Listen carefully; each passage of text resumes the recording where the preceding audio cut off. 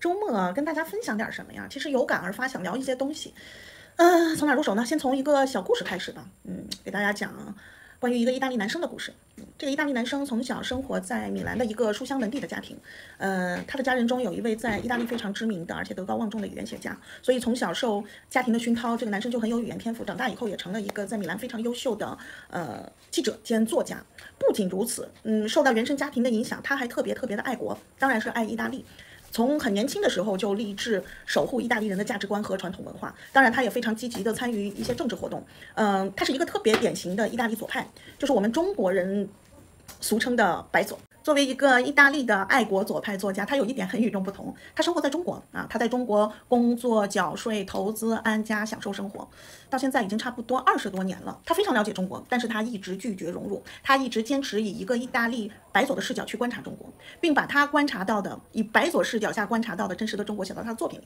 所以他的作品在意大利影响到了很多青少年，尤其是在近几年，在中国慢慢崛起，中国的影响力在欧洲逐渐壮大的这个情况下，尤其是在互联网的加持下，很多。欧洲的青少年啊，沉迷于中国风不能自拔。我这话呀，可一点都没有夸张。举一个例子，就是上周的时候，欧洲最大的短视频平台 TT 上面，就是热搜榜排名靠前，其中的有一个视频，呃，浏览量非常大啊。视频的名字叫做《中国那些美的像仙境一样的地方》，短短十六秒的一个视频啊，就是介绍了几个中国的名胜古迹。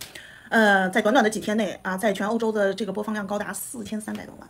啊，这个播放量是很惊人的，就是这么一条短视频，让一众欧洲的做中国线的旅行社赚得盆满钵满。因为下个月马上到了欧洲人的暑假了，他们是全民都要放这个暑假的，差不多一个月的时间，就有很多的欧洲人，尤其是年轻人，因为这一条短视频啊，买了下个月去中国的机票。旅行社最近非常非常的开心，呃。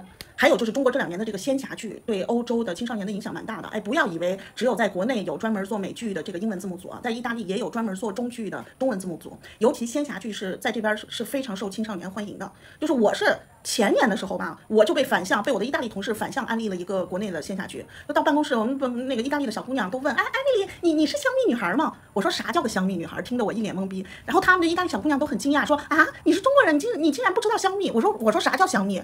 我都不知道香蜜是个啥哦，后来才弄清楚哦，原来是个仙侠剧啊，就是就类似于这样的仙侠剧，在意大利青少年中，尤其是少女中，特别特别火爆啊，因为可能符合了少女的那个遐想嘛。很多欧洲的年轻女孩子看了那个谈恋爱的仙侠剧以后，哦，就觉得这个神秘的东方古国啊，人们都是这样的仙气飘飘，是非常向往的。很多年轻人可能看了这样几条爆火的关于中国的短视频，马上下个月就会买去中国的机票。但是这一位。左派的意大利作家的书也好，文章也好，打破了很多意大利年轻人对中国人的幻想。他是从一个白左的视角啊，向意大利的青少年展示了一个所谓的真实的中国。你不能说它是虚假。比如说啊，这个已经过去的欧之欧洲人称之为骄傲的六月的这个概念。在中国就是没有的，在中国学校也好，主流社会也好，可并不鼓励未成年人去变性或者变装，对吧？因此未未成年人就会选择，就会少了这个性向选择的这个权利。再比如说，他也会打击到这些幻想中的少女，比如说他会啊告诉他们，在真实的中国，女孩子们到了夏天可能穿衣服也并没有真正的穿衣自由，在四十度的高温下，在中国的公共呃游泳池也好，或者海滨浴场也好，女孩子们可不能裸露上身啊，是违法的。再比如说，他他的书中也会提到中国家长的。对孩子的那个管控是非常严的。你要在中国上初中、高中的时候就怀孕，可能真的会被家长打断腿啊。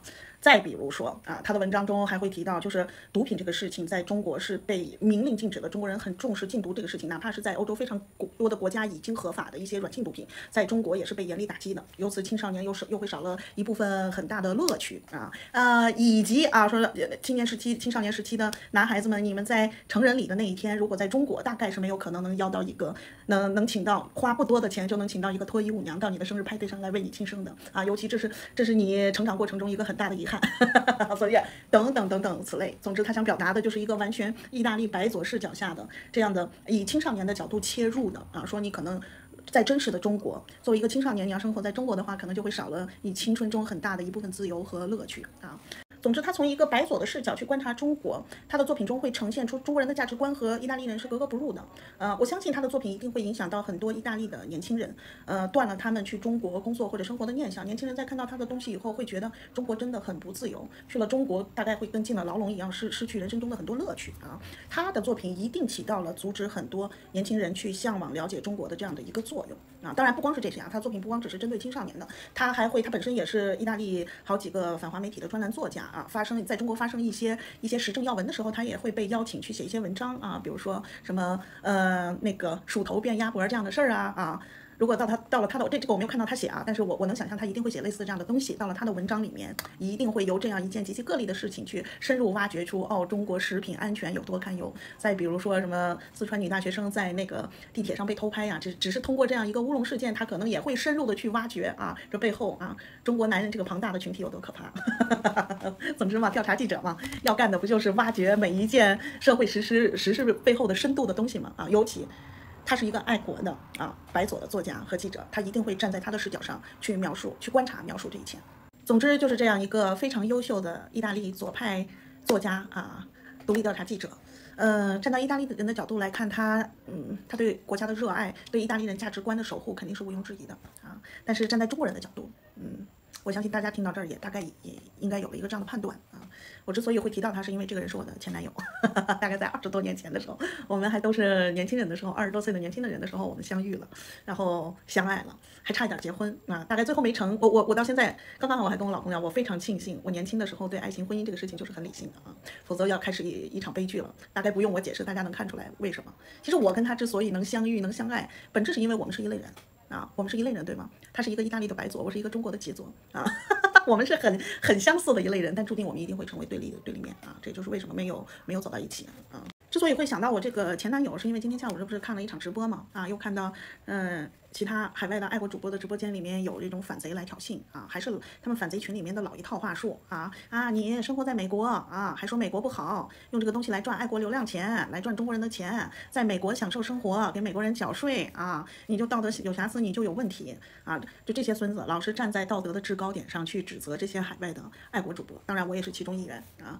真的是因为啊给什么给挣中国的人的钱给美国缴税吗？不是，其实他们最生气的一个点是你侮辱了他们的精神祖国了。啊，你说他们杨爸爸不好了，这才是他们最生气的点。但是他们又不敢大大方方承认啊，谁侮辱我杨爸爸我就咬谁，他们不敢，他们一定要带着那个理中客、道德至上的那个王八壳子啊，来指责你说你家爱国流量钱，说你既然说美国不好，为什么还要生活在美国啊？我今天看到这直播的时候，我是我就很生气，所以突然想到了我这样的我我这个前男友，嗯，他作为一个爱国的意大利白左作家，生活在中国已经二十多年了。可能未来的二十年、三十年，他还会生活在中国，甚至有一天可能会葬在中国。但是他真的热爱中国吗？嗯，他这么几十年来一直不遗余力的就在做一件事情，就是从一个意大利的白左视角去观察中国，并且向他的祖国的年轻人输出他的价值观。用他的话说，他是在保卫意大利人的价值观啊，在避免意大利的青少年受到像中国这样的社会主义国家的影响。嗯，他这几十年生活在中国，他一直在做这样一件事啊，就是我们站在中国人的角度上去看这样一个外国人。他到底是热爱意大利还是热爱中国呢？这是不是一目了然呢？嗯，没错，他在中国生活了几十年，给中国缴税，在中国消费。但我们因此能说他对中国的奉献大吗？他对中国的贡献大，还是对中国文化输出的阻碍大？这个事情不是一目了然吗？啊，没错，他离开意大利几十年了啊，但是他还在意大利出书挣意大利人的钱。但因我们因此能说他对意大利价值观的守护啊是没有一点作用的吗？更别说现在很多反华的白左党在拿着他的作品说事儿啊，当做攻击中国的一个非常有力的证据啊。所以就是这样一个生活在中国几十年、离开意大利几十年的意大利人，嗯，到底对中国的奉贡献大，还是对意大利的贡献大？他到底热爱哪里？啊，他屁股坐到底坐在哪一边？这难道不是非常一目了然的事情吗？我经常，我之所以今天会提到这个人，就是想给大家一个反向思思维的这样的一个案例啊。大家换一个角度去看的话，就会看得很清楚。所以我们现在在看生活在海外的主播也好、博主也好，或者作家也好，就是我们这些人生活在这里就热爱这里吗？啊，我们的强有力的价值观输出对祖国是无益的吗？我们到底是对这里的贡献大，还是对祖国的贡献大啊？